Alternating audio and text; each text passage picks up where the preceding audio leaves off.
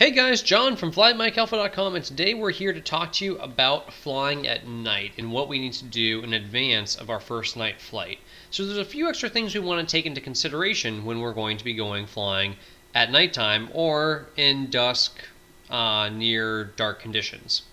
So first thing we want to do is take into account what kind of lighting we have at the airport to see to get around. So let's take a look at our home airport here in Venice and we discover we have a rotating beacon, a green and white rotating beacon in operation from sunset to sunrise.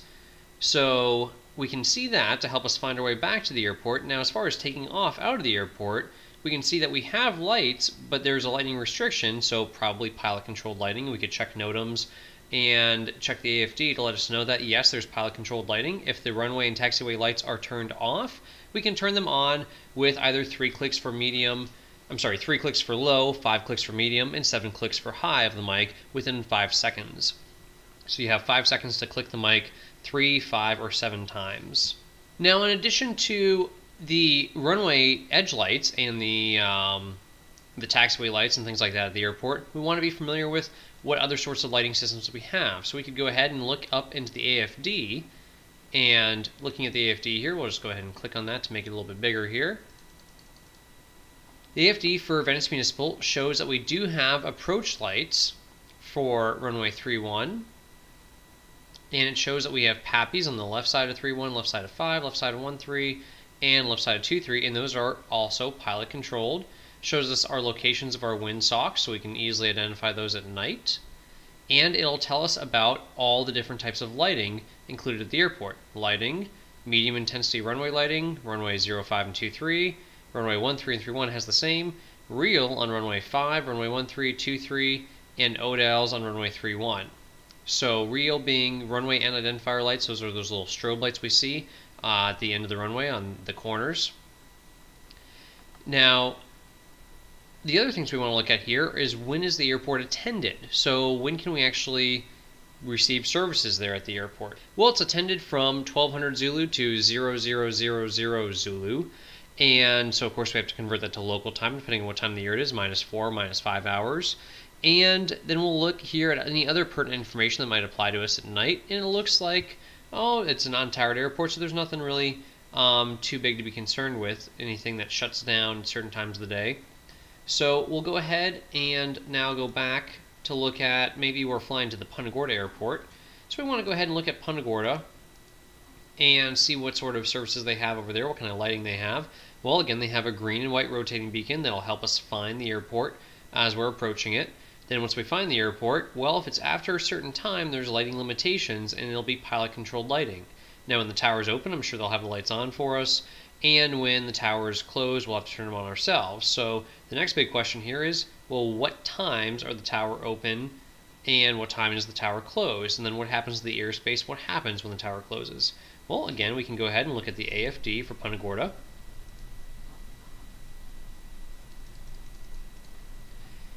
And we'll find here, now one important thing to know about the AFD or chart supplement here is we want to make sure we're using a current one. Using something from an online website like SkyVector may not necessarily be legal. You want to be using a current um, FAA up-to-date uh, chart supplement. So from the FAA website would be a great place to go ahead and get that. So uh, let's see here. What applies to us at night? Well, uh, we have certain runway end identifier lights. We have PAPI lights. Shows where the PAPIs are on the airport. And we can identify the end of the runway with the REIL. We can also go ahead here and let's see when the tower opens and closes. Well, it looks like the tower is in operation from 1200 Zulu until 0200 Zulu. So when that tower is not open, looks like we'll just be announcing on CTAF. We'll assume that we're going to be using pilot controlled lighting, the three clicks, five clicks, and seven clicks. And when the air traffic control tower is closed, clearance delivery frequency is available on 127.05 and monitored by Fort Myers approach. So, the airspace also changes from Class D between these times when the tower is open and all other times it is Class E airspace. An important thing to note to make sure that we're abiding by all our legal cloud clearance requirements um, per 91155. And let's see if we have anything else pertainable to us at night about this airport. Well, it's attended continuously. That's good news. There's fuel available 24 hours, credit card service available. That's great. So if you don't have any cash on you, you can buy fuel 24 hours a day. And that looks like that's about it that's pertinent to us. We could probably raise the FBO since it's attended 24 hours a day on 122.975 for the FBO. And that looks like about it. So the uh, chart supplement uh, used to be called the AFD, now they call it the chart supplement, is a great great tool for finding out all these things applicable to you at night that you may not care so much about during the day. Now, other things we have to be concerned with are going to be NOTAMs that apply to us at night, such as pilot controlled lighting inoperative, that would be bad, or runway lights out of service, PAPI out of service perhaps. Um, maybe, of course, any runway closures would be concerned with day or night but any other pertinent NOTAMs to our route of flight um, that may apply to us more so during the nighttime than rather than in the daytime, especially tower lights um, that are burnt out, things like that, that we care about a little bit more at night than we do in the daytime. So getting an appropriate briefing from flight service before you go flying, and then um, after we've determined all that, we know how to find our airport, we know what sort of facility we can expect when we get there, let's go ahead and talk about what we actually need to legally fly at night. If we were a private pilot, what kind of currents do we have to maintain? Well, we need to have uh, three takeoffs and landings to a full stop every 90 days, and they have to be done one hour after sunset and one hour before sunrise. So if you're going to carry passengers, you have to do those three takeoffs and landings. Now, if you're not with passengers, you can go fly whenever you want, um, as long as you're legally current otherwise. May not be proficient, but you may be legally current to do so. So to establish currency for night flying, if we're going to fly with passengers at night, then we need to go ahead and do three takeoffs and landings to a full stop every 90 days, and they need to be done one hour after sunset or one hour before sunrise when it's good and dark. Now we can legally start logging night flight time after civil twilight. So let's say, for example, that the sunset today in Venice is 8 p.m., or we'll just go ahead and look up here um, sunset and sunrise times. So today, uh, sunset is 8:16 p.m. Well, civil twilight, we know it stays light a little bit later than that, so it's probably not going to get good and dark until, or more dark until say 8:45. That might be civil twilight, and then after civil twilight at 9:16, an hour after sunset, it will be very dark and good for doing our night currency landings. So civil twilight is when we can start legally longing nighttime when the sun goes down below the horizon and then after that when it's a little bit darker. And as far as carrying passengers, we're actually allowed to carry passengers on board our aircraft 59 minutes after sunset if we haven't done those three takeoffs and landings every 90 days. So if you're going to be flying with passengers more than one hour after sunset, then you need to go ahead and do three takeoffs and landings to a full stop one hour after sunset. Other things to take into consideration here is how much fuel we're required to carry on board the aircraft. Well, at nighttime, we're required to carry 45 minutes of fuel on board as a reserve rather than just 30 minutes. And that's 45 minutes at cruise power. So if we're burning 8 gallons an hour in cruise, we need to carry 6 gallons of fuel or land with 6 gallons on the tanks as a reserve. Um, now that's still cutting pretty close. I like to use an hour at any given time, and usually I use a higher cruise setting because we may not burn that much fuel in um, in cruise flight. So usually I'll carry at least eight or ten gallons in the tanks when I'm landing, at least, um, especially at nighttime. Other things to take into consideration will be required equipment that's different at night compared to during the daytime. So, you know, at uh, in the daytime we don't need our position lights to work. So if we don't have position lights working on the aircraft, we have one of those burnt out. Not that big a deal as long as it's properly placarded and all that, so it's not required for day VFR flight. However, position lights are required on an aircraft at night. So our red and green and white navigation lights are required to be on the aircraft at night and be functioning. And we run those from dusk to dawn. We have to have them turned on. So that could be a deal breaker for going night flying if the, one of those light bulbs is burnt out. So required equipment 91205 does change from day VFR to night VFR. So the other thing to take into consideration at nighttime is our eyes and how they function. Well, they typically say that it takes about 30 minutes for our eyes to adjust to night flying. So when we, the time we leave fluorescent lighting that's very bright inside the FBO, we want to give ourselves 30 minutes of um, no artificial light for our eyes to adjust and using only red light, maybe a red flashlight to do your pre-flight around the aircraft so that does not disrupt your night vision as much.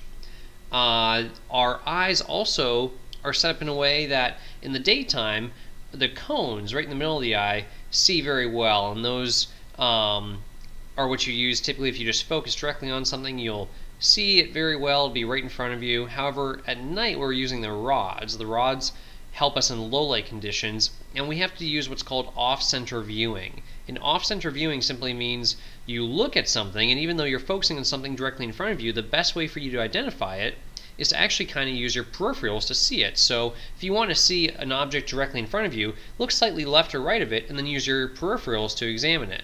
So when we're searching for traffic at night, we always use our peripherals to try to find traffic since we're better off um, with off-center viewing compared to we have that little dead spot or that little blind spot directly in front of us. So if we look directly in front of us and focus directly in front of us, we do have a little bit of blind spot there at night and it's usually best to use off-center viewing, trying to use your peripherals to judge any sort of relative movement around the aircraft to find traffic at night.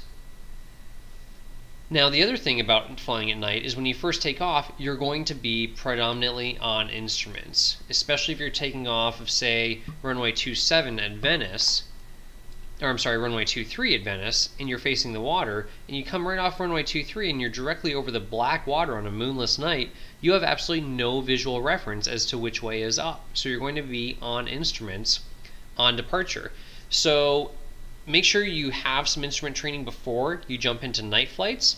And also make sure that when you are flying at night as a private pilot, you're proficient on instruments and proficient flying on instruments. You can trust the instruments. You won't do anything silly like try to trust your inner ear or trust your body sensations instead. You must trust the instruments and follow them and fly the aircraft simply by referenced instruments until you get turned back around maybe here and aim back towards the mainland and you can see city lights and things like that below you and that gives you a good idea of where the horizon is.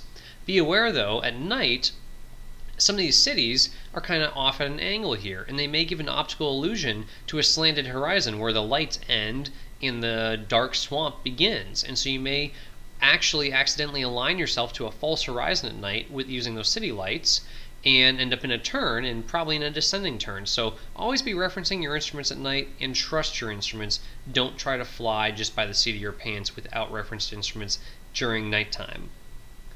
Also, when you're planning this flight, say from Venice to Punta Gorda, if you would normally do this flight at 1500 feet or 2500 feet, consider adding a little bit of altitude to that since you need to have a little bit more time at night to find an engine out landing site should you have any problems. You want to have a little bit further glide distance, maybe to a more suitable landing site instead of over a lit up city that you might be flying over. You want to fly towards a darker area where there's going to be open fields and unpopulated areas for you to land an aircraft engine out. So add a little bit to your cruise altitude at night just because. The next thing we'll go into in our next video is how to fly the aircraft tonight and what it's going to look like. It's going to be very dark over the windscreen. You're going to be trusting those instruments. And most importantly, you will have had proper preparation for your night flight, looking at the airport facility directory or the chart supplement to make sure you know what kind of lighting to expect, how you're going to identify the airport, where you're going to find it amongst all these city lights, and what sort of runway lighting to expect, as well as how to control the lights at the airport and what sort of facilities are available at the time you arrive. Punta Gorda Tower closes at 10 p.m., so if you're planning to get there at 10.05, expect to contact CTAF rather than the tower. Hey guys, thanks so much for watching, and thank you so much for sharing us on Facebook, Twitter, and all the other social media sites. If you have any questions about the video at all, just leave them in the comments below and we'll get back to you as soon as possible. Be sure to give us a thumbs up on our video, and you can subscribe to us to keep up with all our latest episodes right over here on the right. Also, check out some of these other helpful videos below, and remember, if you can't fly every day, then fly at MikeAlpha.com. We'll see y'all next time.